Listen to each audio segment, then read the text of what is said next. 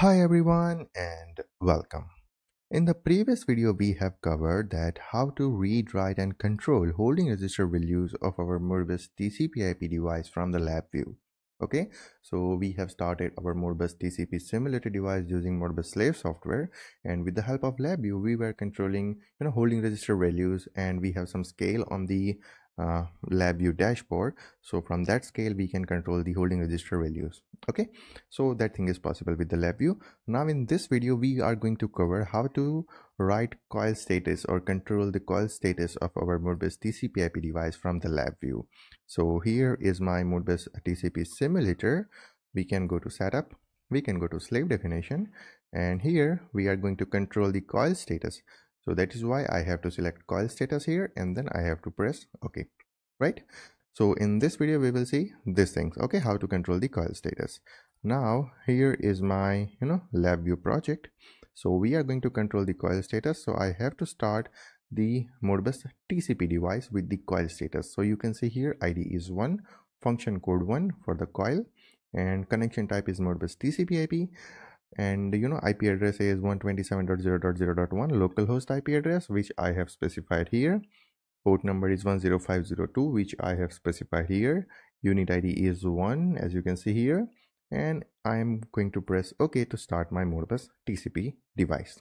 Okay now i have configured the number of coil i want to read and number of coil i want to change that thing in the backend of this LabVIEW programming. Okay so starting address and count of coil i have you know uh, program in the backend and it's a it's a static value. Okay so you can change the programming based on your requirement. You can change the static value to control the more coil status. Now our device is up and running modbus tcp device. Now i can run my LabVIEW project and i can control these leds or you can say coils. So if i turn on this you can see the value is changed to one if i want to turn on the second one then you can see the value got changed to one here. If i want to on the third coil or you can say coil id 2 then you can see we can do it. Now third one and the fourth one. Okay? So this is how i can do it. And you can see whenever the coil status is one the light is in the blue indicator. And whenever it's off it's a white indicator. Okay? So you can change this one too. You, you can also use red or green for on and off but this is for you know um, demonstration purpose that we can have any kind of uh, indication here. So if i want to turn it on then i can do it from here. If i want to turn it off then i can do it from here. Okay? So this is how you can control your uh, modbus tcp device coil status from the lab LabVIEW you can extend the programming to control the coil status to control the holding register that's up to you. You can extend it to any level. Okay you can create your exe file out of this LabVIEW project and you can launch it any other operating system in which you don't have the LabVIEW installed.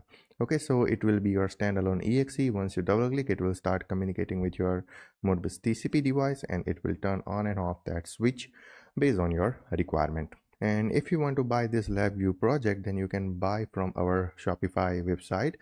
I will provide the link of that uh, product in the description of this video. Also you can comment on this video or you can also ping me on telegram instagram whatsapp if you have any question or if you want to buy this LabVIEW project or any other LabVIEW project. Okay?